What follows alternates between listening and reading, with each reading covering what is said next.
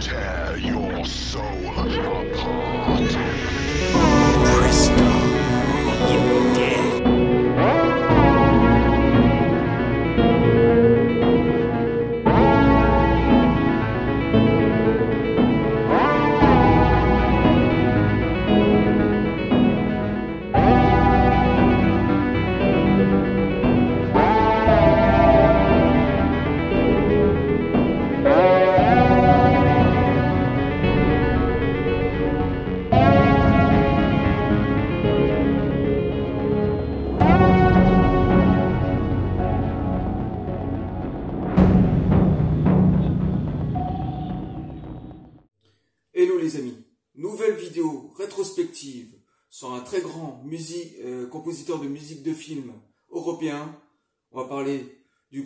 cultissime Vladimir Kosma à travers ses trois coffrets.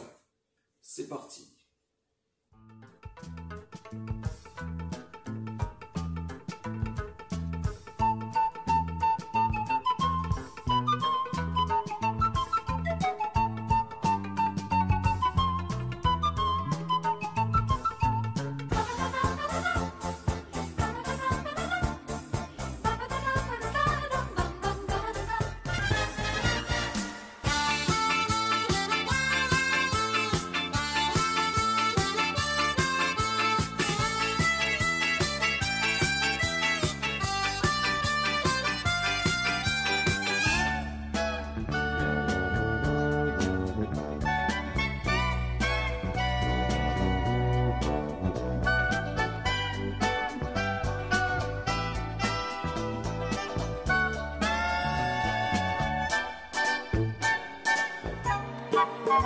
Commençons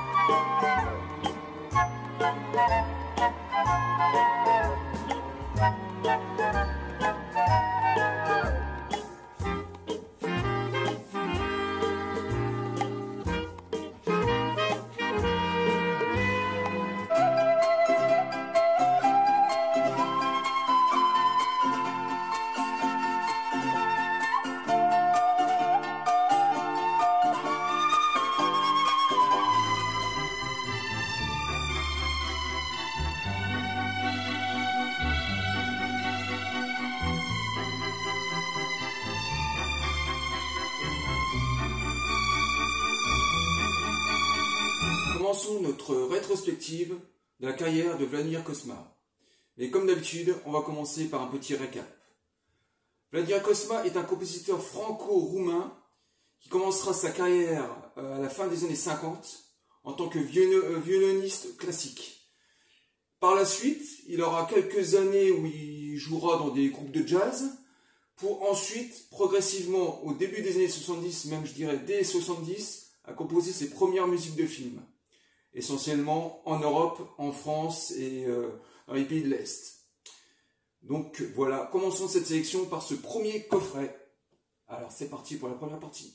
Voilà, avant de commencer cette rétrospective sur euh, Vladimir Kosma, euh, on va parler vite fait d'une précédente collection qui était sortie au début des années 90, donc ça fait à peu près 30 ans aujourd'hui. Voilà, je vous ai pris deux exemples, deux CD, donc Michel Strogoff d'un côté, une série télé mythique des années 80, on en parlera un tout petit peu plus tard, et celui-là, le cultissime, euh, la trilogie de Francis Weber, euh, La Chèvre, Les Compères, Les Fugitifs. Euh, donc c'était une collection qui était sortie au début des années 90 où dans cette collection se trouvait à peu près une trentaine de scores, tous extrêmement connus, un peu de rareté, un peu d'inédit, mais la plupart c'était que des films connus, euh, étalés sur une quinzaine de disques. Voilà, donc c'était la toute première et elle est assez dure à trouver, enfin quoique c'est assez facile euh, euh, à les trouver sur certains sites. Ils sont à des prix très variables. Ça peut être très cher comme ça peut être très accessible. Voilà, qu'est-ce que je- voilà ce que je pouvais dire sur cette toute première édition. Et maintenant, on va s'attaquer à ce premier coffret au volume 1 du, de Vladimir Kosma et on commence tout de suite. Donc on va commencer par des, par des standards, par les films les plus connus. Le premier, Le Père est une ordure, donc un film de Jean-Marie Poiret, euh, avec euh, le groupe du Splendide qui joue dedans. Pas besoin de vous raconter l'histoire, vous la connaissez tous par cœur. Ça se situe pendant le réveillon du, du Nouvel An. et une multitude de personnages en couleur vont se retrouver dans des situations euh, des situations extrêmement comiques, euh, totalement sociales. Et cette musique euh, est à l'image à l'image de comment du film, hein, c'est-à-dire que voilà, on est dans une structure comique et en même temps contemporaine parce qu'il y a la fameuse chanson de, Guy Marchand destinée dedans, donc je dirais une structure rock, une structure variété et une structure symphonique dans, dans, une structure comique. Donc tout ça se marie parfaitement et ça en fait une musique emblématique. Et sur le disque, il y a deux autres scores qui sont beaucoup moins connus. Il y a Petit Con, hein, La tête dans le sac, et l'année prochaine, si tout va bien, qui sont des comédies, euh, des pures comédies françaises, avec des structures. Alors je les ai peut-être pas tous écoutés d'ailleurs, mais en tout cas Le Petit Con, par exemple, c'est assez attendrissant. c'est une comédie dramatique donc, et on est dans une, euh, dans une version euh, avec euh, des éléments comiques et romantiques aussi, on va dire. Donc le plus important, c'est bien sûr le Père, Noël est une ordure, qui est le plus connu hein, du disque. Ensuite, on enchaîne avec, comme j'avais dit tout à l'heure, la trilogie Francis Weber, avec Pierre Richard et Depardieu. Donc là, on est plus dans une structure euh, folk, hein, ça se passe euh, les aventures de nos, héros, en tout cas sur le premier film, se situe en Amérique du Sud, donc forcément hein, des élans comme ça euh, traditionnels du pays, et en même temps on est dans une structure comique, romantique aussi, avec une orchestration vraiment très très belle, déchirante, donc un classique euh, les trois films, euh, la structure sont identiques. Hein. les thèmes, bien sûr, ne sont pas du tout les mêmes, mais euh, le travail est qui est fait est, fait, est identique sur les trois films. Donc voilà, ça c'est extrêmement connu. Ensuite, Alexandre le Bienheureux, un film un tout petit peu moins connu, mais quand même un classique. là, c'est une des premières compositions de Vladimir Kosma, enfin, en tout cas dans le monde dans le monde euh, du score de musique de film. Et euh, la, musique euh, est, pareil que le film, hein. donc on suit les aventures d'un homme qui a perdu sa femme et qui a décidé de prendre du bon temps et de se laisser vivre. Donc c'est un film très touchant, c'est une comédie bien sûr avec des, avec des scènes comiques, on va dire qu'on est dans une comédie dramatique, et le score est partagé entre le romantisme la comédie et, euh, et, des airs un peu champêtres comme ça, euh, un peu anciennes. Donc c'est une fusion de styles vraiment charmante et excellente, autant que, autant que le film en tout cas. Et puis il y a un autre film comment, sur le disque, hein, c'est le Claire en bar. Alors le Claire en bar c'est un film avec Pierre Richard, que j'ai jamais vu d'ailleurs. Et la musique est tout à fait sympathique et on est plus dans un élément burlesque, hein, euh, donc la musique se, marie parfaitement avec le film, donc un film avec Pierre Richard. Donc voilà, ça, le premier film, c'est extrêmement connu. On continue sur, euh, sur, euh, sur, cette, sur, ce, sur ce film extrêmement connu. Hein. Un éléphant, ça trompe énormément avec sa suite. donc là, on est plus dans une comédie dramatique puisqu'on suit les aventures de, de, quatre amis ou de cinq amis, je me rappelle plus exactement combien ils sont. Et euh, on suit leur quotidien, donc leur peine d'amour, euh, euh, leurs problèmes, leurs problèmes d'hommes dans, un, dans, une, dans une société entourée que de femmes. voilà, donc c'est charmant. et la musique se, se, marie parfaitement avec le film. Donc on est, on est dans des éléments comiques, bien sûr, dans un élément romantique, euh, on est aussi dans, une structure euh, contemporaine. Donc euh, voilà, tout ça se marie parfaitement dans l'orchestration parfaite de Vladimir Kosma et dans son et dans sa dans sa patte, dans son style. Donc voilà.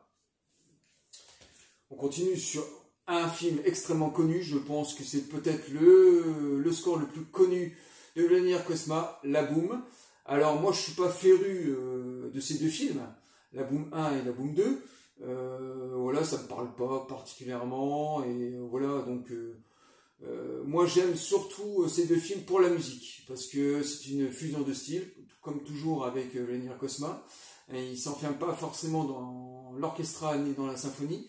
Là, c'est on est dans le contemporain, on est plutôt dans la variété, avec beaucoup de chansons chantées.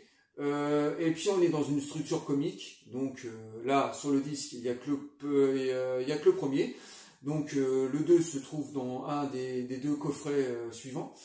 donc ça, c'est charmant et c'est très très facile à écouter, très accessible. Et puis on va finir sur ces classiques avec Rabbi Jacob. Hein. Donc Rabbi Jacob, bah, pas besoin de vous le dire, pas besoin de vous raconter l'histoire. Extrêmement connu, une des, un des scores de Vladimir Kosma qui, sont, qui est emblématique. Donc là, on, est dans une structure comique, burlesque, euh, romantique, surtout à la fin du film, avec des thèmes très déchirants, avec une, euh, une orchestration euh, à cuivre magnifique, et on est dans, dans l'aventure aussi, donc on a des, des thèmes aussi galvanisants et folk, bien sûr folk, euh, parce qu'on est dans, le monde des juifs, enfin dans la euh, religion juive. Donc euh, voilà, Rabbi Jacob, un classique. Et maintenant on va passer aux raretés, au, score que j'ai découvert en achetant ce coffret, enfin ce coffret numéro 1. Et on va commencer par le premier, la Darambade, avec Miu Miu. Et ça c'est un film très déchirant, c'est une comédie dramatique on suit les aventures d'une jeune prostituée qui va connaître l'amour, avec beaucoup de difficultés, mais elle va connaître l'amour, et euh, un peu junkie aussi sur les bords. Et la musique, euh, la structure musicale de ce film, le score, est très déchirant, donc on est partagé entre le romantisme, euh, la gravité, donc dans des thèmes assez sombres, et dans une structure comique, hein, parce que quand même c'est un peu éclairé. Donc ça, ça a été une vraie trouvaille pour moi. Et sur le disque, le deuxième euh, score qui... Alors je connais pas du tout et je l'ai pas écouté, c'est le temps euh, des portes des porte plumes. Voilà, donc ça c'est une comédie dramatique et malheureusement j'ai pas écouté le score parce que j'ai pas tout écouté hein, sur les 160 scores euh, scores qui, que possèdent tous les trois les trois coffrets. Donc pour le premier c'est une dérambade, c'est une fusion de styles, il y a un peu de rock aussi dessus, j'avais oublié de citer. Donc ça c'est une perle. Ensuite, Michel Strogoff, donc j'avais un petit peu parlé euh, sur la précédente collection. Hein, Michel Strogoff, une série emblématique de ma jeunesse, euh, une série franco-yougoslave, si je ne me trompe pas. Et euh, là, on est dans, un score folk, forcément, parce que ça se passe en Russie, hein, l'histoire, pas besoin de vous le dire. Hein. on suit les aventures d'un coursier russe qui doit faire une mission en territoire tartare et donc forcément folk pour euh, les, thèmes russes euh, et, euh, et tartare, donc folk aussi bien dans les chants que dans les, que dans, dans les chansons.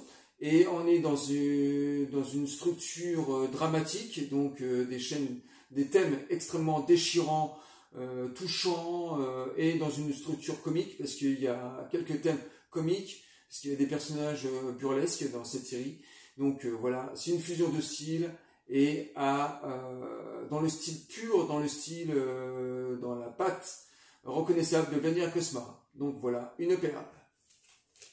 Et on va finir par un film un tout petit peu moins connu, mais quand même un classique, hein, de la comédie, La septième cible, avec Lino Ventura. Donc là, on est, c'est pareil, hein, on est un petit peu comme dans l'As des As, euh, dans une, dans un, dans une, euh, une fusion de styles.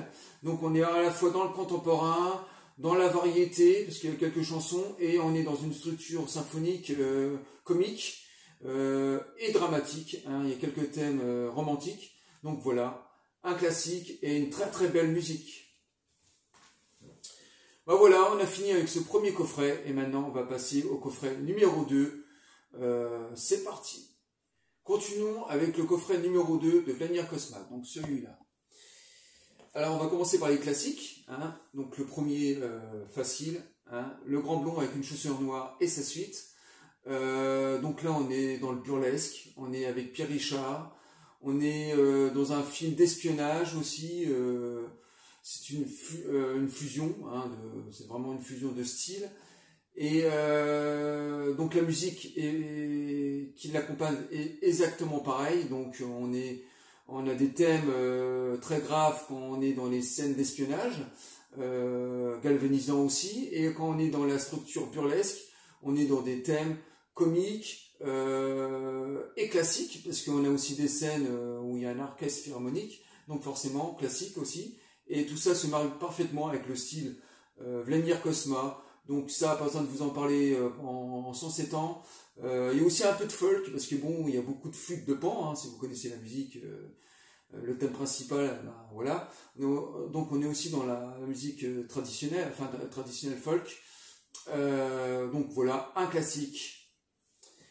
On continue sur l'inspecteur la bavure. Donc là, on est avec Coluche, hein, une sorte de body movie. euh, enfin, c'est pas un body movie, hein, on va pas exagérer parce qu'il y a Depardieu dedans, mais c'est une comédie, euh, c'est une comédie un peu d'action. euh, voilà, c'est quand même un film assez connu.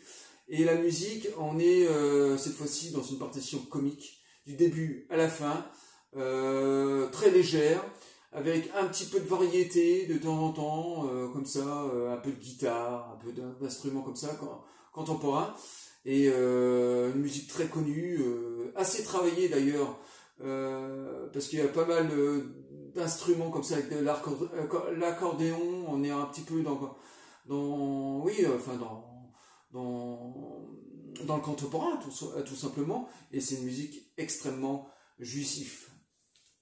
Pour ma part en tout cas. Ensuite, on retrouve sur Deux Finesses avec comment l'aile ou la cuisse. Alors là, voilà, on est, on est un peu dans le classique. Hein, pas besoin de vous raconter l'histoire, vous la connaissez tous. Hein, euh, euh, voilà, c'est euh, c'est un duo entre le, père et le fils dans le monde. dans le monde de la restauration, voilà, le père est guide, donc voilà. Et la, musique de ce film-là, voilà, était un élément comique burlesque, avec beaucoup de classiques, hein, donc classique parce que bon, on se retrouve dans des grands restaurants, donc il faut que ça soit feutré, faut que ça soit quand même assez bourgeois. Donc euh, c'est euh, un élément comique avec des, éléments classiques mélangés et c'est vraiment vraiment savoureux. Euh, la musique est extrêmement connue, donc euh, un classique. On continue sur la boom numéro 2, cette fois-ci. hein. Donc là, on est plus euh, comparé au premier qui avait quand même une base symphonique euh, et contemporaine. Là, on est totalement dans le contemporain avec des chansons pop, avec euh, de la variété. Il y a beaucoup de chansons hein, sur ce boom numéro 2. Et si on parle simplement de la musique, euh, on est dans la même structure musicale que dans le premier. Donc euh, je dirais que c'est pas une nouveauté. hein. on suit une structure euh, classique. Donc euh, voilà une suite logique. Voilà la boum numéro 2. Ensuite, un autre grand film connu, hein, le Dîner de con. Euh, alors là, euh, Dîner de con, on est dans une structure comique, euh, burlesque, et je dirais aussi contemporaine, parce qu'il y a des chansons de, Georges Brassens qui a été rajouté, je dirais que du début, hein, bien sûr, hein, qui- ouvre le film. Et ensuite, on est... on est dans le, dans le contemporain. Voilà, je dirais symphonique contemporain. Donc, un grand film, une musique un tout petit peu moins connue, mais quand vous l'écoutez, en général, ça reste, euh, ça reste en tête. Donc, une signature Vladimir Cosma de pur jus. Un super film. Et puis, dans les classiques, on va finir par L'As des As, donc euh, Belmondo. hein, euh, voilà, je pourrais plus vous raconter l'histoire du film, parce que ça fait très longtemps que je ne l'ai pas vu, et je suis pas un grand fan. Donc, je pense que c'est, je crois que c'est une fuite en avant avec un petit garçon, je crois. Euh, voilà, avec un, box- un boxeur qui est interprété par Belmondo. Mais la musique est savoureux. Alors là, on est dans, dans le contemporain, c'est pareil, euh, on est dans la joie de vivre, donc dans une structure comique aussi, mais aussi un peu grave parce qu'on est euh, dans une histoire d'aventure, donc forcément un peu, je dirais pas romantique, mais très attachant. Donc c'est une musique emblématique, une superbe musique pour un film qui est quand même très connu. Et puis on va finir avec les, les films que j'ai découverts dans ce coffret-là. Donc euh, le premier, c'est un film avec euh, Pierre Richard. Je connais le film, Le Distrait. Je connais ce film, je l'ai vu, mais je me souvenais plus du tout du score. Et quand je l'ai redécouvert dans ce coffret euh, numéro 2, euh, je suis tombé sur un score qui est euh, formidable, euh, très intimiste, très romantique et dans une structure burlesque, comique, donc avec euh, euh, avec de la légèreté, mais j'étais aussi touché par tous ces par tous ces thèmes euh, très touchants. euh, donc euh, Francis Weber au scénario, euh, donc c'est un grand film avec un grand score. Celui-là, ce film-là, alors c'est euh, Maladone. euh, donc c'est alors là on est dans un drame, dans un polar et la musique est extrêmement sombre. euh, c'est un score de polar donc euh, galvanisant, euh, très noir, voilà très grave comme ça. Et c'est une petite perle. J'ai jamais vu le film, mais en tout cas la musique est excellente, une très bonne orchestration. Et les autres scores qui se trouvent dessus, c'est le rival, je connais pas du tout, et je crois que j'ai même pas écouté le score.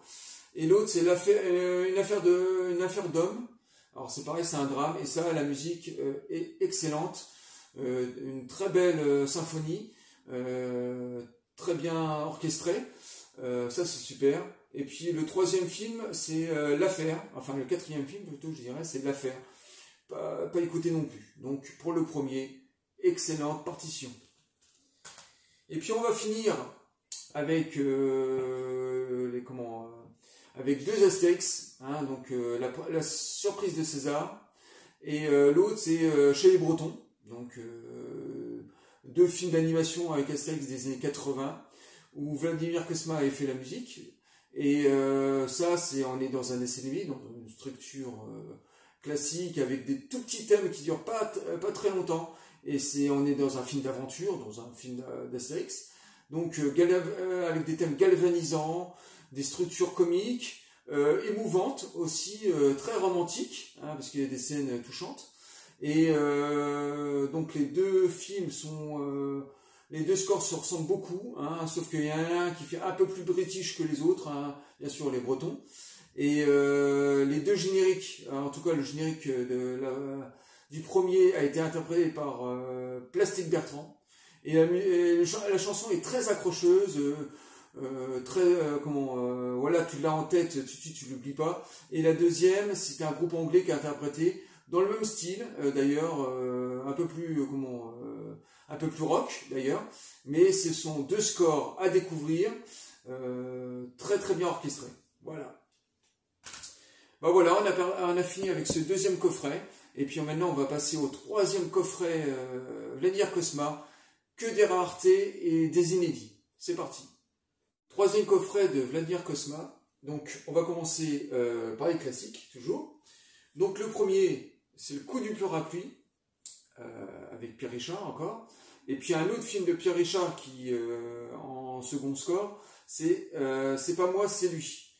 Donc, parler du premier, parce qu'en fait c'est le premier le plus intéressant, le coup du parapluie. Donc, toujours pareil chez Pierre Richard, on est toujours dans le, dans le burlesque. Euh, et le score est exactement pareil. On est dans des éléments un peu folk, euh, euh, avec euh, des groupes chantants qui sont un peu variétés comme ça. Et puis dans le score, on est euh, à la fois dans le romantisme et dans des, une structure comique classique, voilà, et avec des thèmes aussi assez graves, avec pas mal de cuivre. Donc ce score colle parfaitement avec l'histoire de ce film. Donc c'est un grand film pour une grande musique, voilà. On continue sur un film qui n'est pas particulièrement réussi, hein, en tout cas pour moi. C'est La soif de l'or avec euh, euh, Christian Clavier. Euh, alors ce film est très très moyen. Voilà, je l'avais vu à l'époque. Ça fait très très longtemps que je l'ai pas revu, donc à mon avis j'ai pas l'intention de le revoir. Donc voilà. Mais la musique, elle, est passionnante et très très bien écrite. Donc bah, on est dans le burlesque, on est euh, dans une dans une comédie, donc forcément euh, très comment on est dans une structure comique, euh, burlesque, euh, très dépouillée.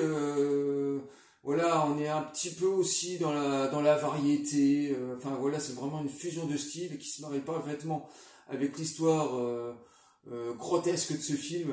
ça part dans toutes les directions, en tout cas pour moi. Et là, par contre, la musique, elle, est totalement, c'est un ovni. Quoi, c'est une fusion de styles. Et en plus de ça, il y a la patte euh, reconnaissable de comment de de comment de l'air Cosma. Donc euh, tout ça, euh, ça c'est vraiment super à découvrir. et le deuxième film qui se trouve sur le, c'est La soif de l'or. non, pas La soif de l'or. Albert le méchant. Et Albert le méchant, bon bah voilà, c'est un film que j'ai jamais vu. Hein, voilà. Et la musique est sympathique, avec une orchestration très très belle, assez émouvante. Mais bon, je peux pas vous parler du film puisque je l'ai pas vu. Ensuite, euh, ensuite, je vais pas parler de ce disque. Alors, je suis très fier de vous le présenter parce que là, c'est le, disque que je préfère dans ce troisième coffret. C'est tous les films de, comment, Jean-Pierre Mocky. Alors là, euh, alors c'est que des films euh, qui a été sélectionnés sur ce disque qui sont tous avec des thèmes romantiques ou des drames, des comédies dramatiques ou des polars ou des pures comédies, mais avec une structure euh, romantique, euh, déchirante, euh, et tous ces films qui ont été sélectionnés sont teintés de piano classique, d'orchestration à cuivre, et parfaitement orchestré. Et il y a un film en particulier sur ce disque qui est le Renard jaune, qui, est, qui, est, tout simplement une, un vrai chef-d'œuvre faut vraiment le découvrir parce que le film est pas très connu malheureusement, c'est peut-être pas un de ses plus connus. Et euh, en plus de ça, le score de, du Renard jaune a été utilisé pour une pure comédie qui s'appelle euh, Premier juré. Euh, les films ne se ressemblent pas du tout, mais le score a été réutilisé en des versions réorchestrées bien sûr différentes. Mais voilà, le Renard jaune est un pur chef-d'œuvre, peut-être le plus beau score de Vladimir Cosma pour ma part. Et tous ces scores des films de Jean-Pierre Mocky sont magnifiques sur ce disque. C'est le joyau du coffret. Et puis je vais terminer sur, avec Banzai. Euh, on retrouve Coluche, on retrouve un film burlesque, une pure comédie, euh, très légère. Et la musique, cette fois-ci, c'est une, fusion de styles, parce que euh, on est dans le contemporain, déjà premièrement, on est dans la folk parce que le film se situe dans plusieurs pays, euh, donc forcément folk, et euh, dans une structure assez rock avec pas mal de percussions. Et cette fusion de styles se marie parfaitement avec euh, la signature de Vladimir Cosma, avec une orchestration aux petits oignons. Voilà. Et le deuxième score qu'on peut trouver sur ce disque, c'est Vous aurez pas l'Alsace et la Lorraine, donc toujours Coluche. Et cette fois-ci, on est plus dans le Moyen Âge, et dans une structure comique. Donc euh, la musique est, superbe. Le film il est un petit peu un peu plus loufoque. Moi, je suis pas un grand fan de ce film. Euh, c'est pareil. J'aime bien ce film, mais bon, pas plus que ça. Mais les musiques sont formidables. Et puis on va finir par les raretés que j'ai découvert sur ce coffret numéro 3. Donc le premier film, c'est euh, c'est la mort du dimanche de pluie dans un, enfin la mort d'un dimanche de pluie, voilà. Donc euh, là, on est dans des drames, en tout cas les deux films. Et le deuxième, c'est le bar du téléphone. Euh, là, on est plus dans une structure euh, comment, un peu plus comique quand même, mais on est quand même dans deux drames, dans deux polars, et la musique est, est assez grave, on est assez dramatique, on a aussi du romantisme, et dans le contemporain, donc tout ça se marie parfaitement dans de, dans de l'orchestral, parfaitement maîtrisé, et avec la signature Vladimir Cosma. Donc euh, voilà. Je connais pas du tout les films, mais les scores sont formidables. Et puis on va finir avec euh, Catherine Co, euh, un film avec Jane Birkin que j'ai pas vu non plus.